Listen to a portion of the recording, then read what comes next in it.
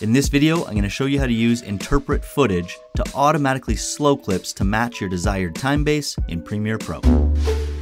All this means is that Premiere is going to automatically convert all of your clips, regardless of frame rate, into their optimum slow motion speed. But only choose this one if you know you're going to have the footage play at slow-mo for the entirety of the clip. If you want some of it to be at regular speed, or if you want it to be even slower, then don't use this method because it's actually going to change the frame rate right here and the duration of the clip right in your project files. So to interpret footage, all you have to do is select all the clips that you want to interpret. So anything that has a faster frame rate than your time base. So this one right here is at 23.976 already. So I'm going to leave that one. Just take note, this one's 29.97, so 30 frames per second, and it's a 15 second clip. This one's 60 frames per second, and it's also a 15 second clip.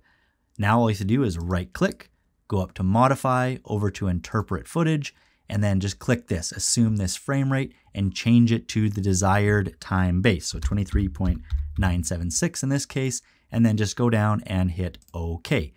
You'll notice that all of them that I selected were changed to 23.976 to match the time base, and the duration has changed. This one went from 15 to 18, this one up to 37. So if I double click and play this one, you can see that it's actually at 80% speed, so just a little bit slower. If we double click and play that one, it'll actually be very slow at 40% speed. But just remember, only use this method if you want it to play at this exact speed for the whole clip. And to be honest, I never use it. To learn about other ways to change the speed of a clip in Premiere Pro, make sure to watch the videos linked on the screen right now or down in the description below.